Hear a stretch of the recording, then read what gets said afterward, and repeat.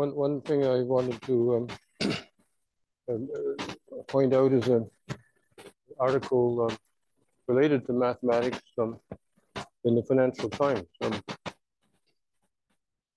that's um, um, that's a, a, British newspaper um, published by owned by a Japanese company. um, it's an obituary. Um, historian who recovered lost voices of the marginalized, Natalie Zemon Davis, pioneer of microhistory, 1928 to 2023 one, one reason this obituary caught my eye is that I, I know her because um, uh, at the operator uh, seminar uh, every week, um, which Chandler Davis was one of the organizers for for um, uh, for uh, he arrived about about um, so about close to 50 years, over 40 years. Afterwards there'd be a seminar dinner. And uh, often I attended, and uh, often uh, Chandler Davis's wife uh, accompanied him to the dinner. And, um, this is uh, this is uh, this is who she was. um,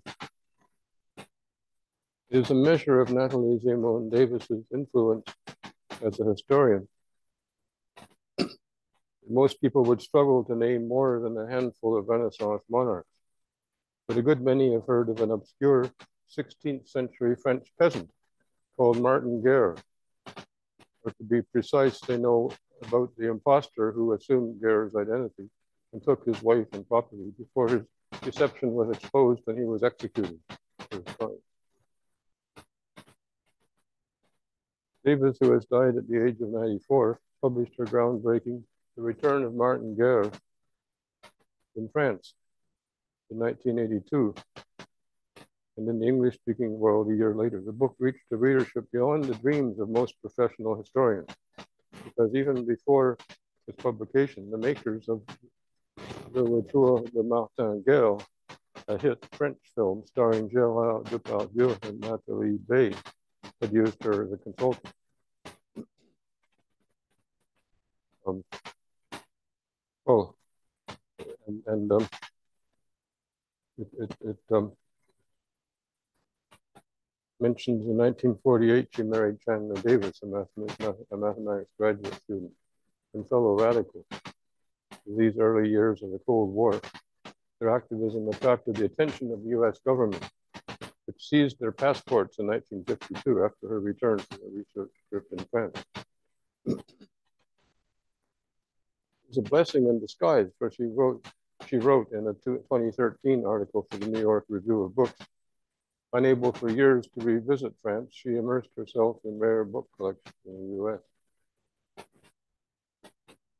gathering much material for her future work.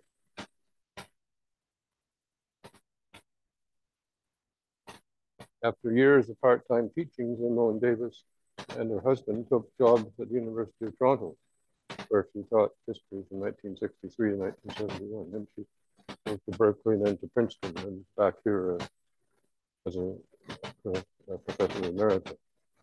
So, um, on the subject of movies, which is how sort of how she started out, uh, related to how she started out. Um, at, at one uh, seminar dinner relatively recently, tell from the story. One seminar dinner, um, we, we happened to be um, talking about the movie, uh, um, about, um, well, I'll ask you, I'll, I'll see how many people uh, remember uh, or know who, who it's about, which mathematician it's about. A Beautiful Mind. Okay, yeah, right, yeah. and, uh, Nash together with von Neumann uh, was one of the pioneers of uh, mathematical economics. well, uh, he was a professor at uh, at Princeton University, right? This is when uh, uh, Mrs. Davis was there. So, so when we were discussing this um, movie, she, she, she hadn't really, she wasn't aware of it.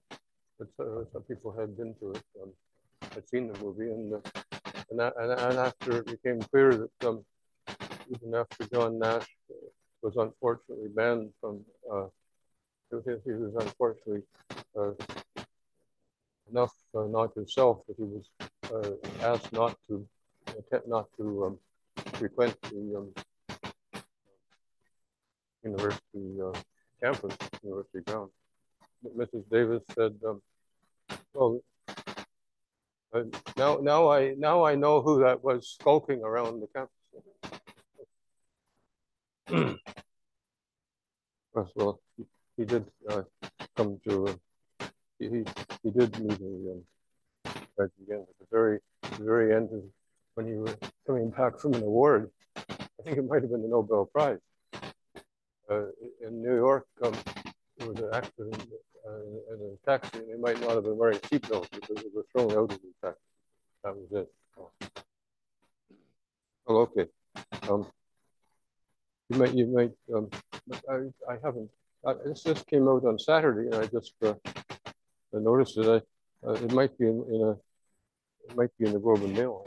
I didn't see it in the Star or the uh, National Post. Right, you know, and the news might be. Okay, so what have we been um, um,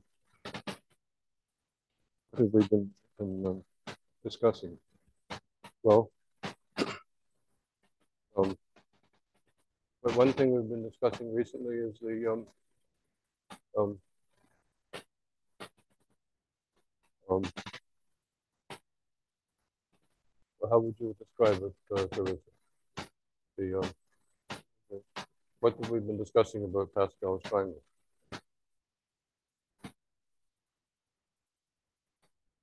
Sorry? Oh, uh, yeah, yes, the, the Hausdorff moment problem.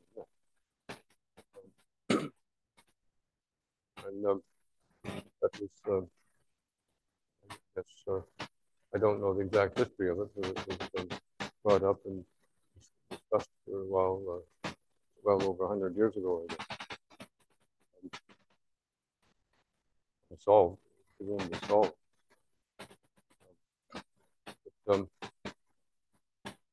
it, seems now that we have found a solution um, using um, methods related to C-star algebras and K-theory.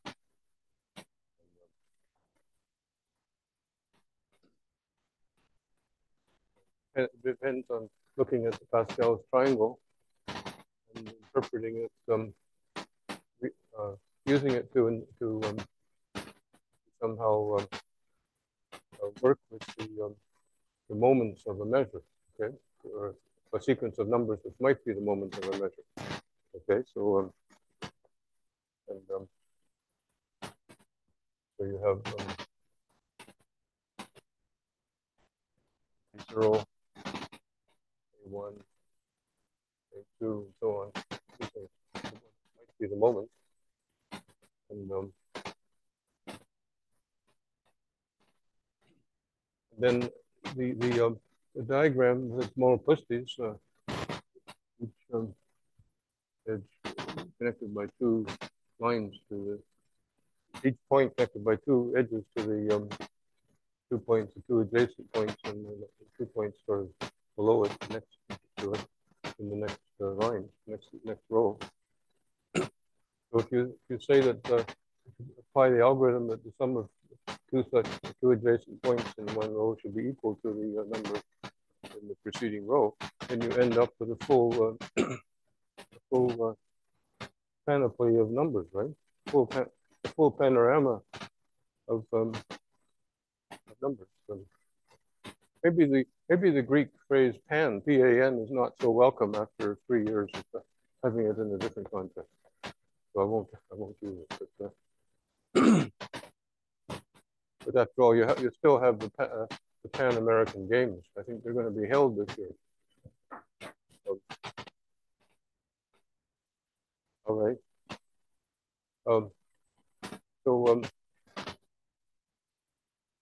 you fill out the whole uh, graph, the whole the whole diagram of the, the numbers, and then um, you you you well you notice that the uh, the different sloping lines parallel to the main one, going down to the left, are um,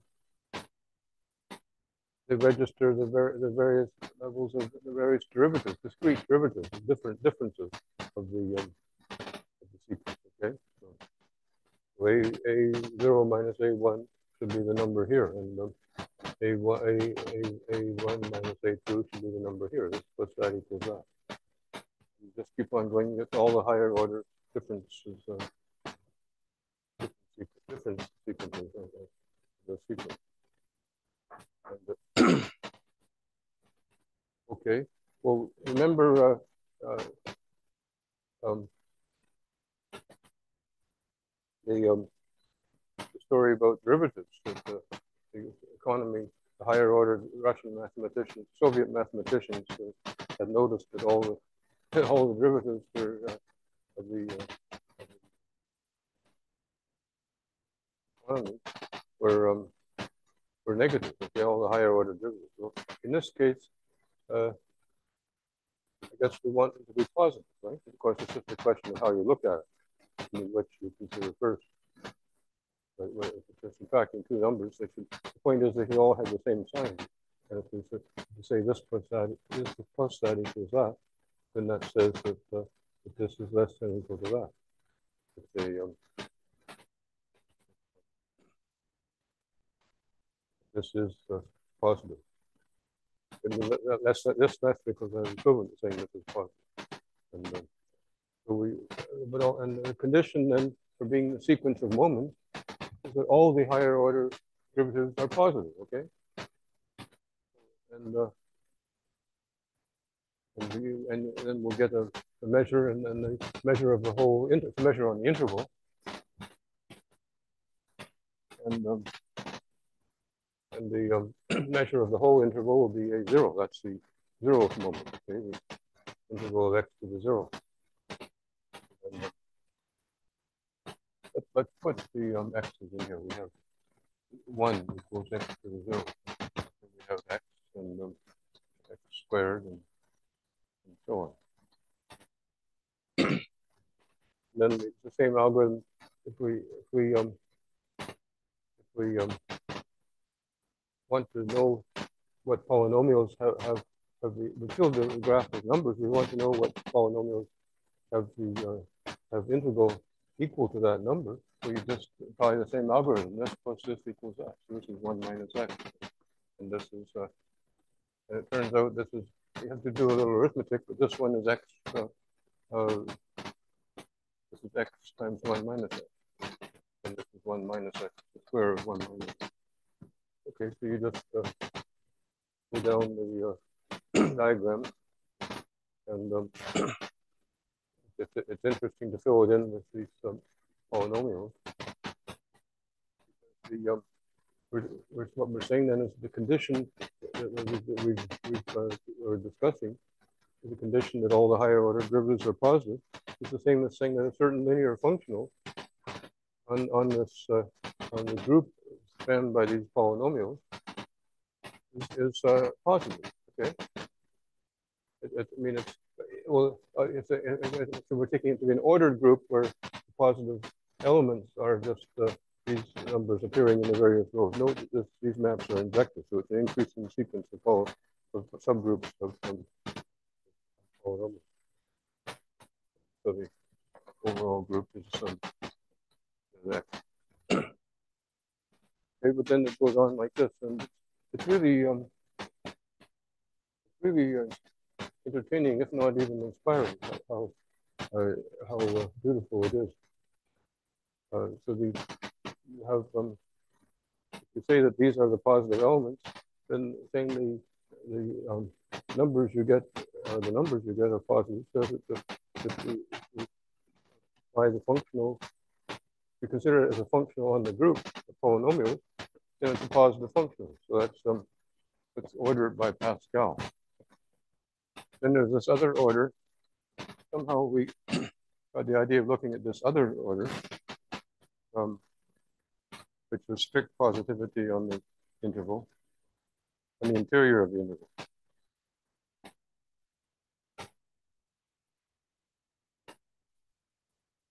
And um, somehow we got the idea of proving that the order of these two cones were equal, okay? Positive, um,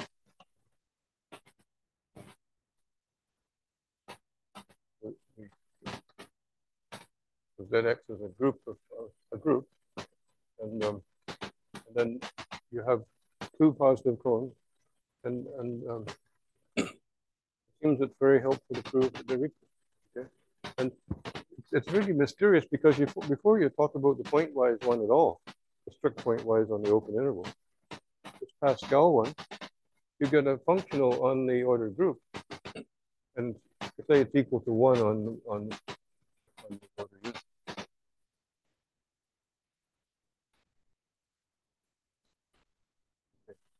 Those are called states, positive functionals on an ordered group with an order unit. That means some positive multiple of this is bigger than anything. Um, you if you um, if you look at um, uh, if you have an order group, and, and if it happens to be a ring, which, uh, uh, and, and such that the uh, unit of the ring is the uh, order unit, the special special order unit, not what you're talking about. I guess you could just say the the unit is an order unit, and uh, then you talk about the state normalized with respect to the this unit, and the states form a um, a compact convex set, and then the, and it's on a it's metrizable and it's um it's count everything's countable. And and it um sits on a um, the compact, compact convex subset of a, what's called a locally convex space. So it's well behaved the Krein-Milman theorem applies. Uh, you know, you would know that this compact convex set of states is, is generated by its extreme points. It's, it's the smallest uh, uh, compact uh, convex set containing the extreme points. Okay. And, uh, um, well, so it's, it's interesting to try to determine the extreme points.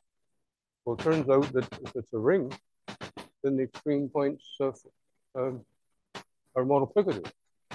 Then that's very easy, where you just multiply polynomials. Then it's very easy to say that the to see the extreme points are just parameterized by um, um, extreme extreme states are just parameterized by the closed interval 0, 1. What, what, the state, so it's equal to 1 uh, and, and uh, the um, generator of the first, uh, at the x to 0, it's equal to 1 there. And in the second row, it's equal to, say, t at x and, and 1 minus t at um, 1 minus x. And those those are both positive numbers. Those are supposed to be positive numbers because um, um, these are positive elements in the in the positive cone. Forget about the pointwise one for the moment, which is the same. Um, so so it's just uh, uh, the uh, must be some number which is greater than or equal to zero, and one minus it is greater than or equal to zero. That means it's less than or equal to one. So uh, the interval zero to one monetizes the state. Sorry, the extreme points, extreme points. Well, now, how many people have worked with extreme points of a, of a convex set? This is a standard uh, theory, okay? Um, um, uh, you could maybe have a course on convex sets. Are books on convex sets, okay? So this is an incomplete uh, discussion I mean, to, to introduce someone to the subject uh, thoroughly, okay? So I'm just saying that uh, if you have um, compact convex set, and it's uh, in, the, in the topology that's metrizable. So we have enough countability. In the extreme points, the set of extreme points uh, form a, um, a, Borel set. So in fact, in this case, it's a co compact subset. The whole set is compact, and the extreme points from the compact subset because the, the topology you have to check. It's not hard to check that the uh, the, the topology on the states. That means the weak star topology. You you, you um, pointwise converge. If states converge on a particular on each uh, single polynomial, and then that's the convergence. Okay, that's the topology. And that's um, that's uh, compact. And um, because um, well, uh, okay, uh, uh, and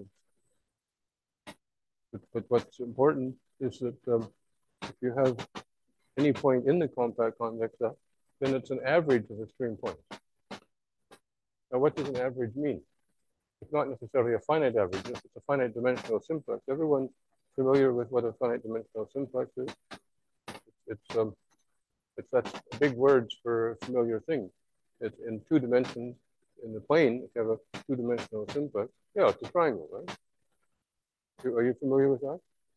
You, okay, you know, you're familiar with triangles. Okay, well, actually, that's those are already interesting, right?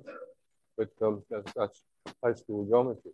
A lot of high school well goes beyond that, circles, ellipses, and so on. Well, at least used to, used to. But, uh, um, but the in three dimensions, it's um. Okay, here's here's a riddle.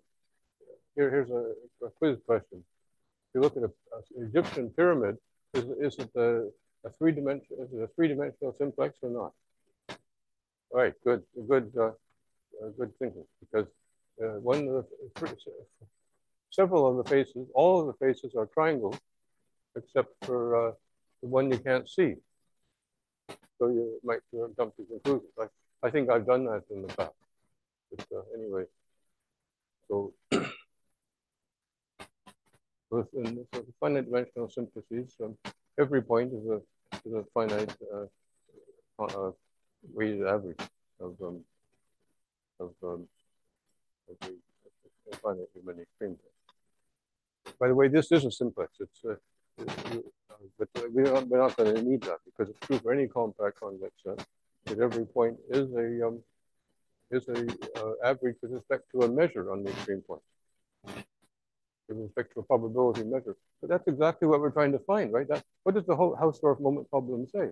It says that um, if you have um, measures on the interval 0, 1, then the moments are given this way. In other words, they come from a functional on, um, on the um, this ordered group, and and and the extreme points are um, extreme states are the interval 0, 1. And if it's a measure, it gives you a it gives you a state. Well, if it's a point, if it's a point, and if it is a state, then then you have a measure. You have a by the uh, general theory of convex sets, you have a measure on the set of extreme points, and the state is the average of the extreme points, um, which is the average of the points on the interval 0, 1. And that means when you integrate, what that means is when you integrate a polynomial, you uh, integrate it with respect to that measure over the interval 0, 1. Okay, so I'm, I'm going through things quickly, but uh, this is all this is already the um, well. Okay, you you um, there's a question.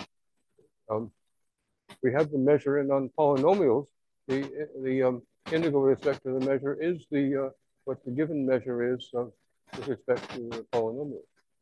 But uh, to determine the measure, polynomials will determine the measure on interval 0, 1. You have to prove that. So that's a general theorem. If, if, you know the Weierstrass approximation theorem, then the um, then the um, polynomials are dense, and so the, the measure is determined. The measure is the one coming from the theory of convex sets. Okay, the functional. But if, if we um, um, we don't in general even if even if we know the polynomials are dense, we don't know the measure is continuous with respect to the sup norm. We just know it's a positive function. So, but if we knew the order structure coming from this pointwise order were the same as this, then we would know the function was continuous in polynomials with respect to the sup norm on the interval 0, 1. Okay, so that's it's, it's a sort of a long story, and maybe even it's too um, uh, too much trouble to uh, make it an essay. But I would I would welcome either one essay one or essay two to be um, about uh, Pascal's triangle and its, its, its historical significance. Its, uh, its significance in in um, in um, relating to history with the moment, Hausdorff moment problem. Yes.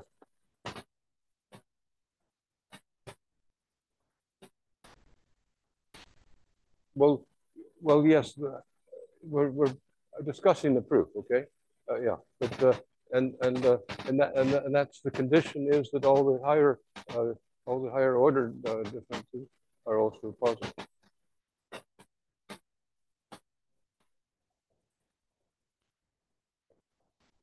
Well, yes, I just said, as I just said, that, that, that well, it's the, the different, it's the, it's the derivative.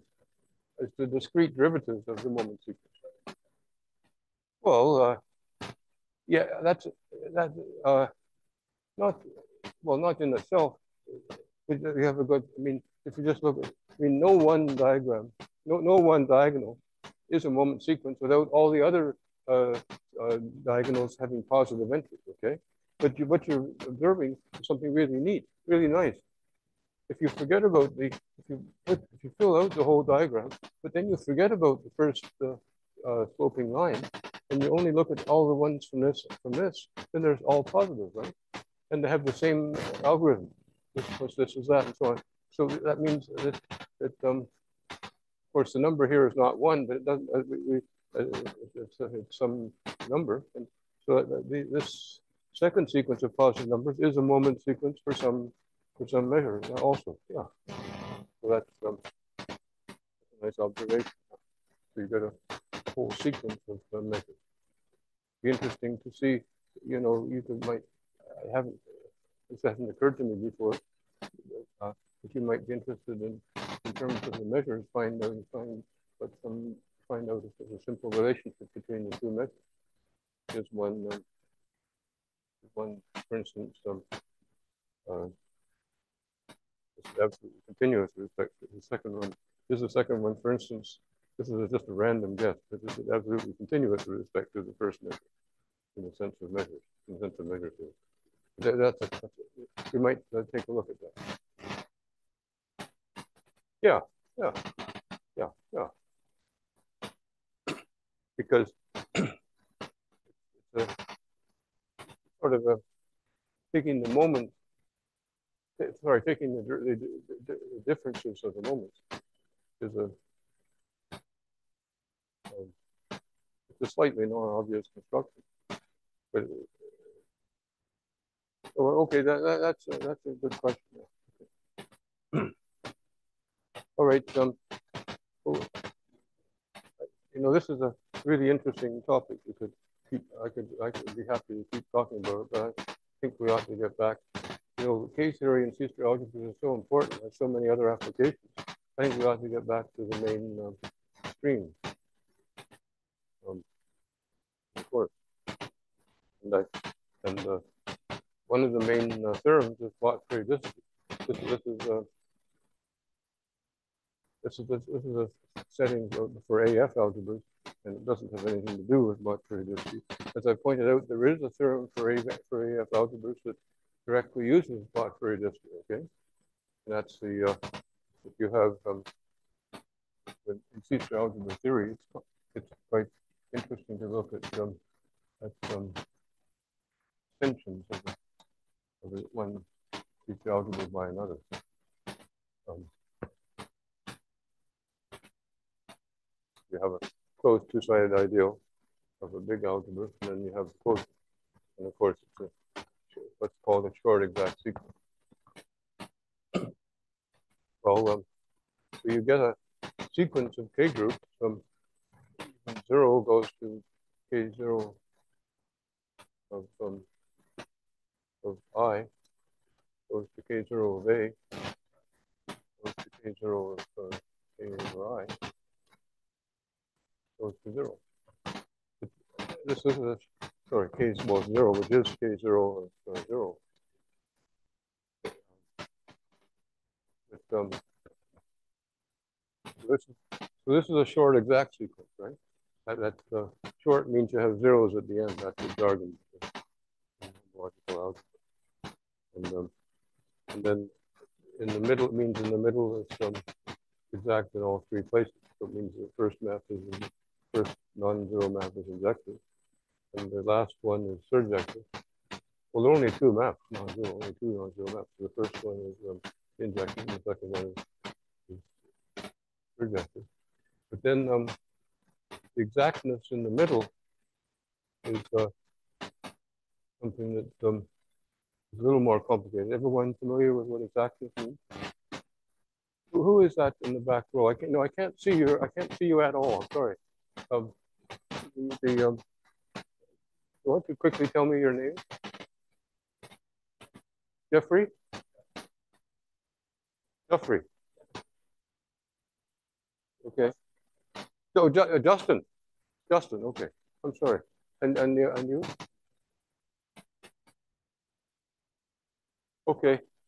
And, and I, you know, I've, I've um, temporarily um, separated from my list of names. But, uh, that's um, terrible. But, uh, I, I assume you can hear me, but uh, apparently I can't quite hear you. But uh, I um, maybe enough well enough. I hope you can see. And but you know, if you were going to ask a question, or or say what you say that you didn't know something I was talking about, or that uh, and so I should say more about it, or or that you already did remember what I was talking about. It would be nice to see people a little closer another time.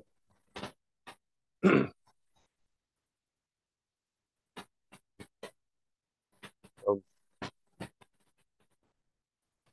okay, so um, this is second sequence this is a short exact sequence. The second sequence is short, but not in general exact, okay? So, but, it, but it happens that it is exact in the middle. That's because of this particular functor. If you look an arbitrary functor uh, on groups, it has takes values in groups, then you get a zero here. I mean, if, like, if it took zero into zero, that would be uh, surprising if it didn't. You get you get the same looking sequence, but uh, in general, it won't even be exact in the middle. But with K0, that is one of the special properties of K0. It's exact in the middle. So you get a you get a extremely short exact sequence. Okay? Or you get a short sequence, but then the, the um, there's an exact uh, point. The one point which is, is exact, which, which says, of course, that the image is equal to the kernel. And the same is true for K1. Well, it's not surprising since uh, K1 is, is S of K0. K0 of S of A. K0, K1 of A is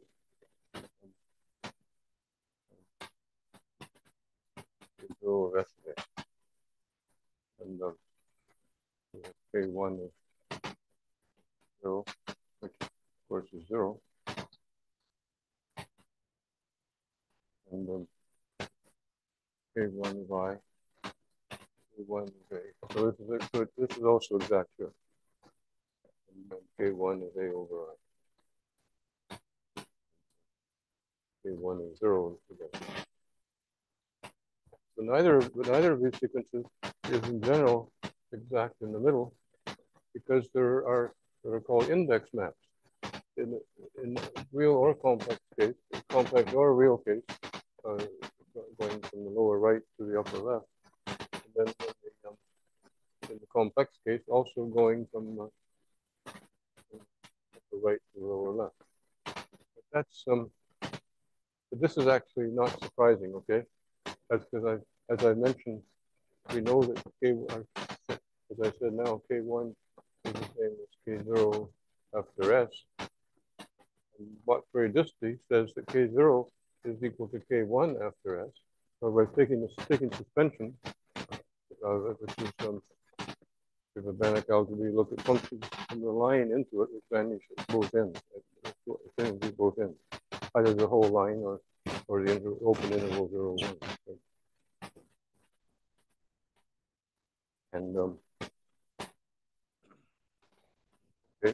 so in other words, S uh, taking the suspension, which is a functor, of course, it's a very natural operation. It flips K zero and K one. Well, so suppose we want to in this picture, if we could flip this diagram so that uh, the top one came to the uh, bottom. What, what you do is you just apply it to the suspension. If, if it, well, so actually we don't, okay, if without this one, we don't know this one, okay? But you take suspensions instead. Instead of A, take S of I, and S of A, this is also going to be a short exact sequence, S, SA over SI, which is the same as S of A over I. That's an exercise. Then um, if you apply the six-term exact sequence, well, part of it, if you know is exact, to, to this um, um, to this sequence, then we get um, we'll get the same sequence as this, the same six-term sequence as this, with suspensions everywhere. But then if we take the, but, but the suspension comes right after the K, right? So if we take away the, the suspension and switch zero and one, what happens is this just gets flipped up like that. So we get a map coming down here. Now, of course, we don't get a map here, but we all we know there is one. Okay. So uh, because um, um, because this is now um, k zero. Okay. Oh. Well, okay. So I'm, I'm I'm getting ahead of myself. I'm behind myself. One or the other. I don't know which is better. Um, everyone see what I'm saying? It's, okay, so uh, in other words, because K, S flips K1 and K0, if you, of course, we, we so really we only have to know one of these exactness um, in the middle here. And then the exactness, exactness here and here we know before the flip. The, this is called the index map or the even index map because it ends in K0. And the other map, well, which we I did um, give a, a, a, suggestion, a candidate for what it might be, for what it is, in fact, how uniquely it turns out. Uh, but um, uh, a priori, um, we have we don't have um, exactness. Um, well, it was coming here. It's just or he's starting here. But I'm going to um, it's, a, it's a, messing things up a bit. but Keep put the zeros in. So, um, so if you um, you do have a map, even index map, as you do both real and complex, which has exactness on the tail side of the arrow and on the head side of the arrow then um, when you flip, you'll get uh, this arrow will get tra uh, transformed into this arrow, into an arrow, which will give you exactness from give you exactness uh, the, at the tail and also at the head. So you have a six-term sequence then, uh, leaving out the zeros, of course, uh, which is uh, exact everywhere. And this is um, equivalent to Bott periodicity, as I pointed out last time, because um, used Bott periodicity to establish it from the um, index, the even index map. And um, then to go backwards, take a special case where um, the, um, the algebra B, you have the algebra B as the quotient, and the cone of B is, is the extension, and the, the cone is things on the interval 0, 1 put the zero at the one end and converge at, um, at the other end. Continuous at one. And, uh, the,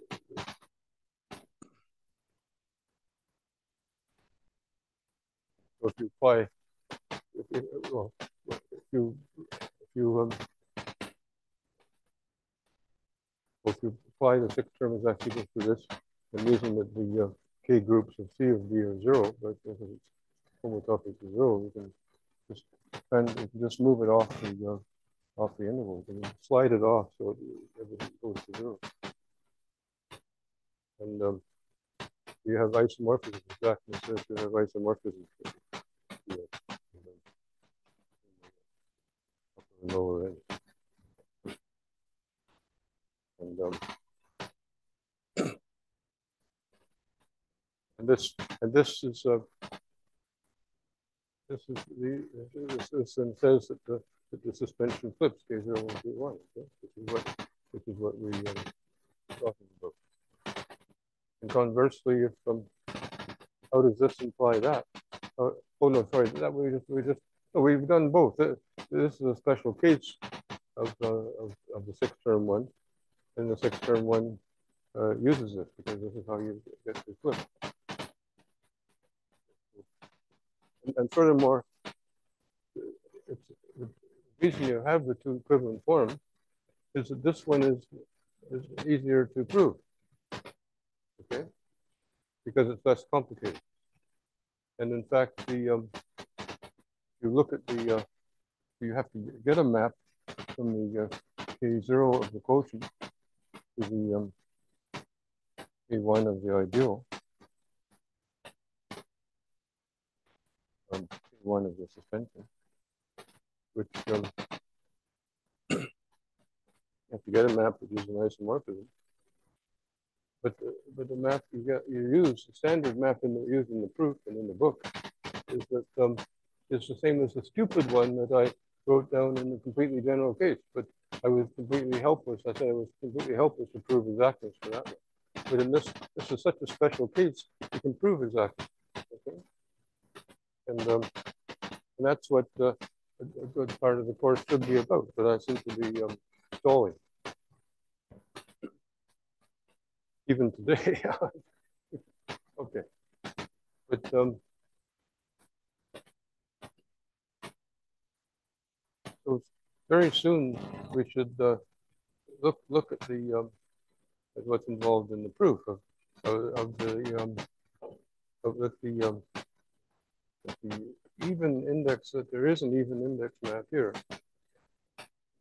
Is, it is just the stupid one I was uh, talking about, but uh, somehow in this case it's manageable. But this map gives you exactly maps well, it's very easy to show it maps K0 to K1. K0 would be the K1 of the. It's just the same as K, K0. Um, it's K0 of the double suspension, double we want to show that this, that this, actually, this very map is an isomorphism. That would be double suspension. These are always the same. Okay? And so what's the, what, what is the map involved in this case? Well, um, it's, it's, well, it's the same as, in, as I outlined um, in the general case. Um, Calling the stupid map because what use what use is it if you're helpless for proving exactness? Um, um, here, uh, uh, here, and, uh, and here. So, so you start with a projection in B, or in a matrix algebra over B. Projection or idempotent, and, and as I've mentioned, as the book mentions, um, this this um, this uh, um, proof in the book has to be carried out at, some point, at least at one point, it has to be carried out in the setting of the Banach algebra. So that's not uh, where you move down. So we have a projection, and um, and um, find this map. We don't need to for the user itself adjoint. Okay. I'm asking, I shouldn't say, I shouldn't say E because there's going to be an exponential involved, okay? That, I would just, I'm just asking for trouble to have E in the same formula. Let's say P, P is a projection.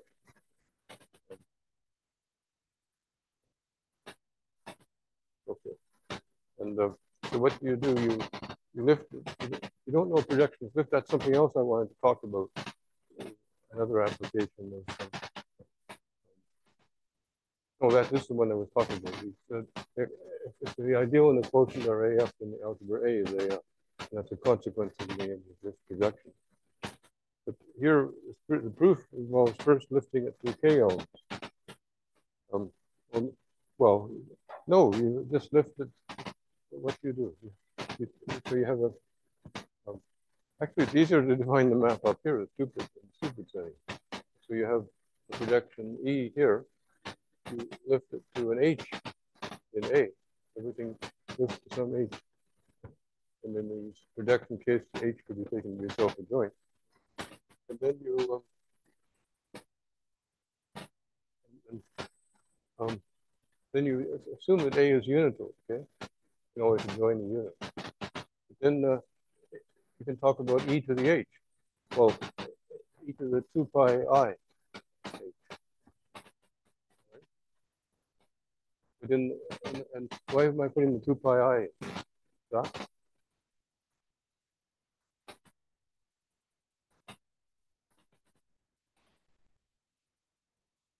Well, yeah, right. Now, the trouble is, we don't know that H is an idempotent. If H were an idempotent, this would be equal to 1. But then the quotient it is. E, e maps into E. H maps into E, which is idempotent. And you take 2 pi i times an idempotent, for instance, 0 or 1, and you have to initiate. And you get um, and you get uh, the unit element. That's, and that's why, I, for that to make sense, I made it through the algebra ahead of you power series for exponential involves the unit of the uh, and um, well, all right, but that's about it. Um, you, if it's um, it's an invertible element which maps to the unit, then it's in the um, ideal with unit adjoint, and that and it's the invertible elements of that that are the definition of K1 of the ideal. Okay. So what you what you do down here I should have said uh, P. I should have said P, by the way. Okay. Then what you do down here is you, um, you just map P to um, to um, e to the two pi Uh, oh, what do you do? Oh, well, it'd be something. Um,